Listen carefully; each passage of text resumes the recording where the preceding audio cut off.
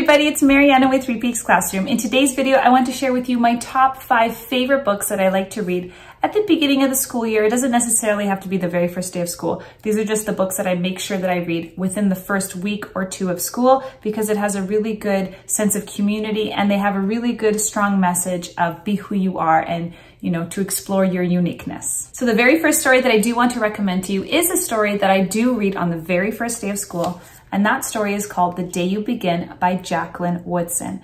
I love this story a lot because the message in the story is very beautiful and very clear. And it says to not be afraid to share your story, regardless of how different it might sound to other people around you. And actually, the story starts off really beautifully. And it says, um, there will be times when you walk into a room and there will be no one there that's quite like you. Whether that is a physical thing or whether that is an internal thing, you know, it might be your skin, it might be your clothes, it might be just the way that your hair is even curled. And so in this story, Angelina feels very nervous to share her story because the teacher asks like, tell me what you did this summer. And all of her classmates are sharing beautiful stories of travels and adventures that they did. But Angelina is nervous to share her story because she hasn't she didn't go anywhere this summer. She stayed at home in her apartment taking care of her little sister. And through the course of the story, she realizes my voice does have value. I do have something to contribute to this conversation. And she says, I didn't go anywhere outside of my apartment this summer, but I did travel the world. And her classmates are kind of like, what's going on? And she was explaining that she read stories with her sister every night that took them to faraway places. And then when she starts opening up, you know, she introduces herself. My name is Angelina. Another kid in the class says, hey, that's my sister's name. And right away, they're starting to find connections. And so I do love to read this story because of there's just an amazing message here that your voice matters, your experiences matter, and everybody has something to share. So some activities that I like to springboard off of this book is to find somebody, you know, the activity where you have to walk around the classroom and find someone who and it's like maybe find someone who also likes the same food as you, or find someone who has a similar name in your family, or yada yada. So it's kind of getting to know your classmates, getting walking around, getting up and meeting your classmates. But there also is an opportunity here to do some writing or storytelling about, you know, tell me about an experience that you had that made you feel proud, or tell me about an experience that you had that made you feel scared. And then making connections with classmates who also have had similar experiences like that. If you have not had a chance to read this book or grab yourself a copy, I highly recommend that you grab The Day You Begin. Again, it doesn't have to be read on the very first day of school. It can be within the first few weeks of school, but it's a wonderful way to open up the doors to sharing amongst your students. All right, the next two books that I have here are actually written by the same author. I love this author very much and I will share one at a time. This story is called Beautiful Hands by Kathryn Otoshi and Bret Baumgarten. Um, I have used this story on the very first day of school, and I, I actually do a really fun activity with this book as well. If you're not familiar with this book, it talks about how what what kinds of beautiful things are your hands going to do today? And all of the illustrations are made with handprints. And it's just a way you know, for kids to explore again their uniqueness, their individuality, but realizing that they do make a difference and they are valued and they are necessary for the classroom. And that is a word that we introduce very early in the classroom. And we talk about how everybody in our classroom is a necessity. Everybody should be there in our classroom. We rely on everybody in our classroom. And if you are not there, then we have a hole in our classroom. So it's just the illustrations in this story are absolutely breathtaking. The message is super clear. Will you will you use your hands to lift up the uh, lift up others? What can you use your hands to lift? And sure, some kids will start thinking pragmatically and they'll start saying, "Oh, I can lift boxes or I can I can carry something for other people." But the message is so much deeper than that, right? You can lift spirits. So I love reading the story at the beginning of the school year. And one really fun activity, but you need to be prepared for it, is I buy a giant canvas, a stretched canvas on a frame, and I get paint ready. And after we read the story, then we print our hands on a canvas in any color that the students choose. So eventually it'll turn out to be like a big rainbow canvas. And once their hand is dry, then they sign their name on it. And it's just a big class canvas that we have. And then at the end of the year, we raffle it off, like I draw a name and that student gets the choice of holding on to that canvas if they would like. So Beautiful Hands is another wonderful story that you can use. Again, doesn't have to be read on the very first day of school. I just have chosen to do that in years previous, but it's a wonderful story about what your hands are capable of doing and what you will be capable of doing in the school year. All right, I probably should have saved this book to the very end because this is my favorite all-time book ever ever, ever. It is written by the same author as Beautiful Hands, Kathryn Otoshi, and that book is called One. When I first heard this story, I was very early in my career and my elementary school that I taught at was across the street from a high school. And one year, the high school uh, drama club, they decided to make a production of this story, One. And um, I'll get into the story in a minute. You'll see that the message in the story. But when the drama production came over to our school and put on their show for our entire school, I knew in that moment I had to buy this book and I have to keep it. It's been so well loved that you probably can't even tell, but the pages are actually starting to kind of fall out. So I have repaired this book many times, but this story has so many messages, but on so many different levels. I have used this story with my pre-kindergarten students and they very clearly understand the message. This story is about bullying and how it only takes one person to stop bullying. It can only take one person to stop bullying. Um, so like I mentioned, the message can be very clear even at a young age, but even as an adult, there are underlying messages that you pick up when you read the story. It's just an incredibly written and illustrated story. So yeah, you can see like my binding is all shot here. So this story is about the color blue and how blue was a very quiet color. I could probably recite this book without even looking at it.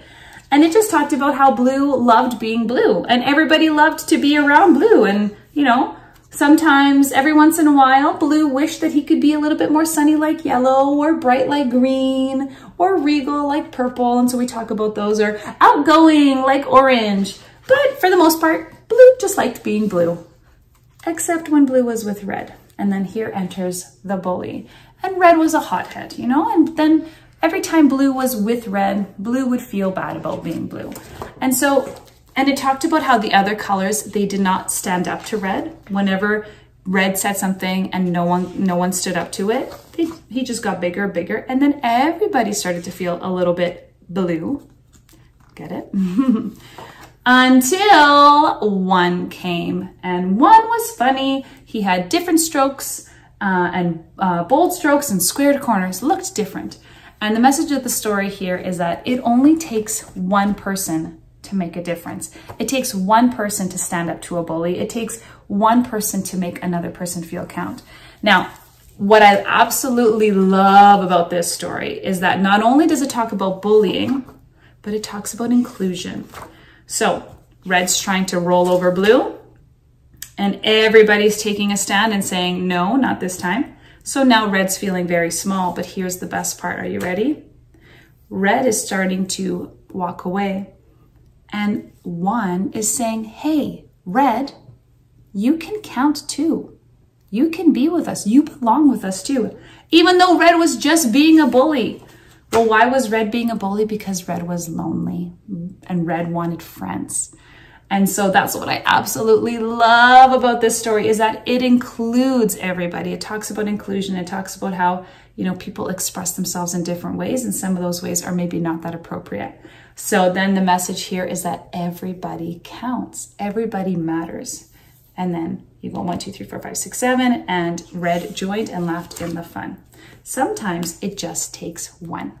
Ah, I mean, talk about a beautiful message, beautiful illustrations, really simple to understand, and really fun to act out in the classroom too, actually. When I taught this in preschool, I would ask students to pick a color and then I would take a marker and I would draw on their hand, like just a little line and said, okay, you're gonna be orange. And every time orange had a part in the story, I would get them to stand up and act out that part. And I would always be red When I use it in my grade three or my grade four classroom, then I let other students be red as well. So they stand up and they pretend to put on like this big bully size and all that. But what an amazing, amazing story. Really fun to act out and the message is super clear. And again, if you wanted to do like a handprint of it where everybody picks uh, a different color and presses, you could even do fingerprints actually, but if you want to do handprints as well, and just, you know, they make an agreement that everybody counts, everybody belongs. Hands down, my favorite book all time ever. If you do not have a copy, go to your library, borrow a copy, read it. If you love it, buy it because you will not regret having this book in your classroom.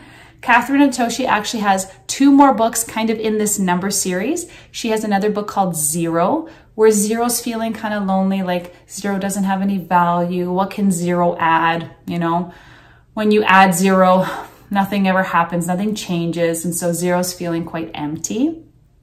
And it just has a beautiful story about how zero is an empty, zero is a window to a whole opportunity of more numbers, more value. So if you add zero to a one, now you become 10.